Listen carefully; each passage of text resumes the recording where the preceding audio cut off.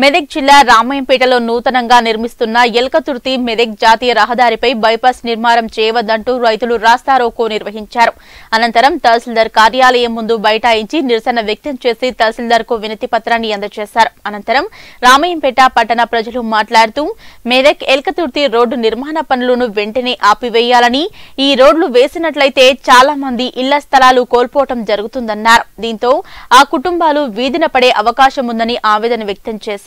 ఈ కార్యక్రమంలో చింతల యాదగిరి పుట్టి అక్షయ్ కుమార్ దోమకొండ యాదగిరి దోమకొండ రాములు గణేష్ నాగేశ్వరరెడ్డి పుట్టి శ్రీనివాస్ అరుగు బాఘయ్య అశోక్ రమేష్ కొండంగారి రమేష్ తదితరులు పాల్గొన్నారు. సంగారెడ్డి ఎల్కతుర్తి రోడ్డు విస్తరణలో భాగంగా రామాయంపేట వచ్చేసరికి రామాయంపేట నుండి బైపాస్ రోడ్స్ నుంచి సర్వే చేయుచున్నారు. ఈ సర్వేలో భాగంగా చాలామంది నిరుపేదలు చాలామంది బిల్డింగ్లు కట్టుకున్న వాళ్ళు చాలామంది ఒక వంద కాదు రెండు వందల ఇల్లు కట్టుకోవడానికి తీసుకో చాలా మంది ఉన్నారు. వాళ్ళంతా ఇప్పుడు ఉపాధి కోల్పోయి వాళ్ళ రోడ్డు మీకు వచ్చే పరిస్థితి ఉంది. ముఖ్యంగా ఏంటంటే ఈ సర్ ఈ సర్వే ఏంటంటే రామాయంపేట పాత రోడ్డు ఉంది. ఆల్రెడీ ముప్పై ఆరు ఫీట్లు మొన్ననే తీసాం మేము. ఇంకో తొమ్మిది ఫీట్లు తీసి నలభై ఐదు ఫీట్లతోనే అదే రోడ్డు చేస్తే చాలా బాగుంటుంది. ఇంకొకటి అలా చేస్తే ఏంటంటే రామాయంపేట కూడా ఇప్పటికే చాలా అన్ని విధాలుగా వెనుకబడిపోయేది.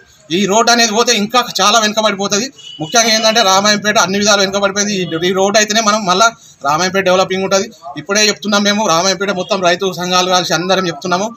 మేము ఎక్కడి వెళ్తాము. ఈ ఖచ్చితంగా ఈ రోడ్డు ఖచ్చితంగా బంద్ చేయించి మేము ఈ పాత రోడ్డు తీయాలని ఎమ్మెల్యే గారి దగ్గరికి ఎంపీ గారి దగ్గర కలెక్టర్ దగ్గరికి ఫ్యూచర్లో పోతాము.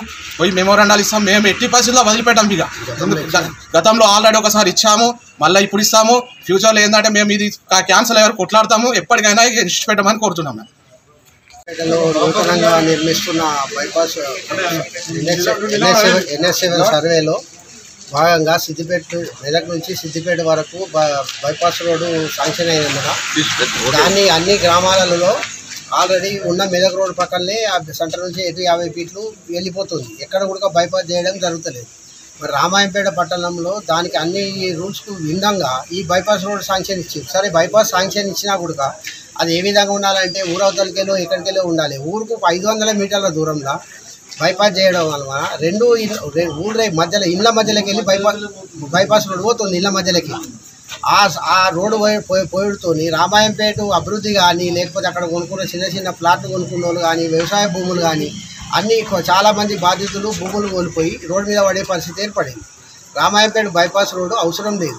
తక్షణమే దాన్ని ఉన్న రోడ్డు పడితేనే పోవాలని మేము అందరము గ్రామం తరఫున రైతులము అందరము భూ బాధితులం అందరము కోరుకుంటున్నాము.